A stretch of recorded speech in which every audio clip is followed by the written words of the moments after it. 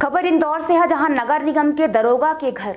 School और दफ्तर में मंगलवार सुबह ईओडब्ल्यू ने दबिश दी। तीनों जगह तीन अलग अलग टीमें पहुँची हैं। दरोगा के खिलाफ आय से अधिक संपत्ति को लेकर जाँच की जा रही है।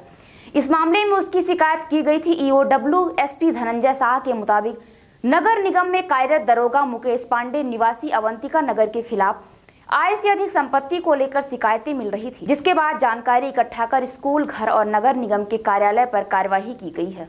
ईओडब्ल्यू को घर से कई बैंक खातों की जानकारी, सोना, चांदी और प्रॉपर्टी के दस्तावेज़ मिले हैं।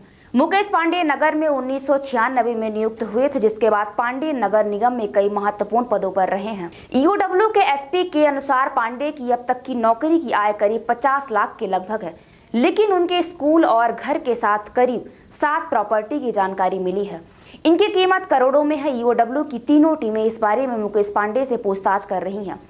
मुकेश पांडे को लेकर नगर निगम के कई अधिकारियों को भी भ्रष्टाचार संबंधी शिकायतें हुई थी, लेकिन उसके बाद भी उपायुक्त के खास होने के चलते शिकायतों पर ध्यान नहीं दिया गया। कुछ दिन पहले कुछ ठेकेदारों ने लोकायुक्त और ईओडब्ल्यू को इस मामले में शिकायत की थी, जिसके बाद एकाएक मामले में जानकारी निकाल कर कार्यवाही की गई।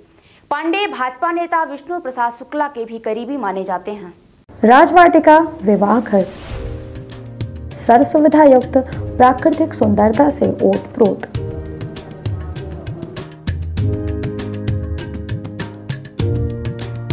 राजवाटिका विवाह घर में इंगेजमेंट तिलक, शादी रिसेप्शन वेडिंग शूट जन्मदिन पार्टी जन्माशा सहित अन्य कार्यक्रमों के लिए विवाह घर उपलब्ध।